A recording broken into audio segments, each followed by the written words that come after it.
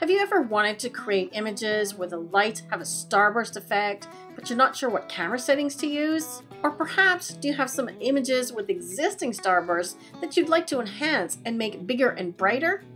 Until now, there was not an easy way to do that. But in this tutorial, I'm going to show you how you can do it in less than two minutes with the brand new Luminar Neo extension. Hi, I'm Darlene with Digital Photo Mentor, and if you're ready to see some magical starbursts, let's get started.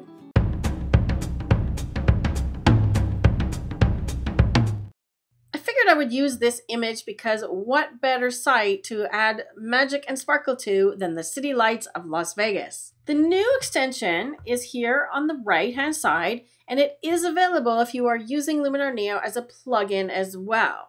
If you have tools added to your favorites, it will be right below in the extension area. Currently, it's called Magic Light AI, but I think a more appropriate name for it would be something like Starburst AI or Star Effect AI, because that's exactly what it adds to your image. Let's take a look. I've got the tool opened, and you can see that it's got the usual set of sliders, with the first one being intensity. So to apply the effect, all you need to do is drag this one up to the right. Immediately, you see what's happening here is it's picking up anything that is got a bright light and adding a star to it. I've tried this on several different images and it seems to be looking for a point light source. So that means like a, a, street lamp or a city light, something like that that is interpreting as an actual light source. You'll notice that it's also only picking the brightest ones. Once you've applied it, the other sliders are pretty straightforward. You can increase the size, the beam width, the amount of glow, the amount of clearness, more clearness gives you a sharper star, and less is more of a sort of foggy, hazy glow around the light. So use the one that's applicable to the image you're applying it to. In this case, I want nice pinpoint stars for the lights of Las Vegas. We can adjust the brightness, the number of beams. I think eight or nine is good for this one, and also rotate them, which is a cool feature.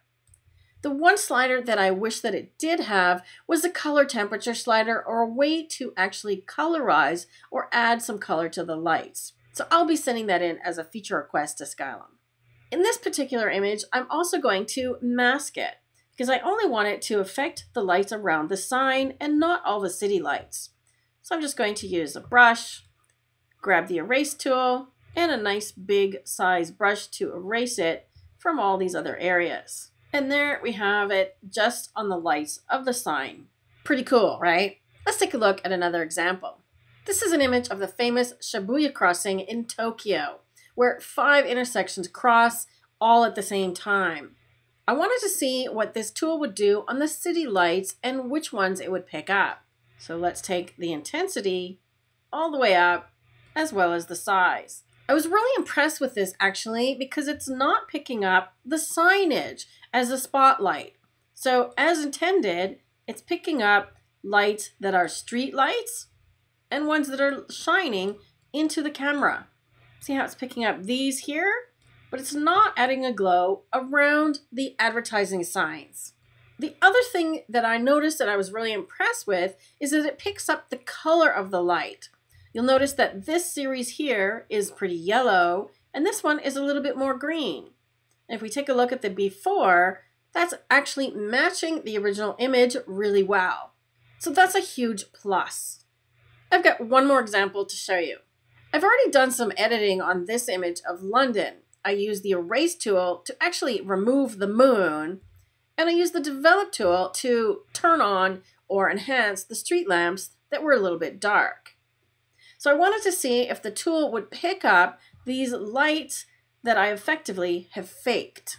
Let's give it a try. So magic light, intensity, and you'll notice that it is not picking up the ones that I added. So if you have an image like this where you're faking or turning on the lights in post-processing, just export the image and re-import it back into Luminar to apply the Magic Light tool and it will work on all the new lights. I also took a different approach with this image and I changed out the sky.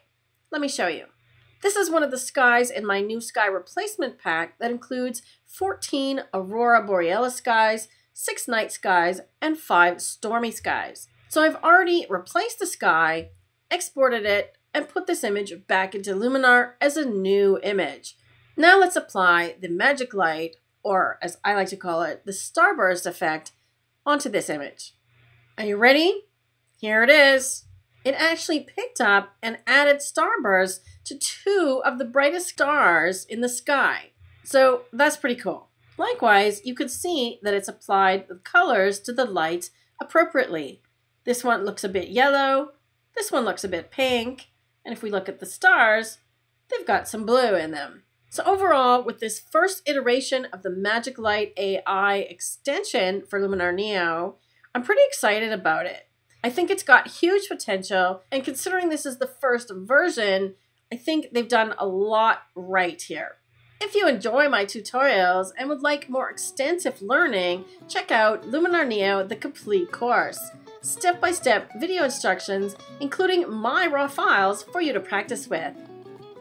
If you'd like to watch another video here on YouTube, click here now. Until next time, happy starbursting. Take care.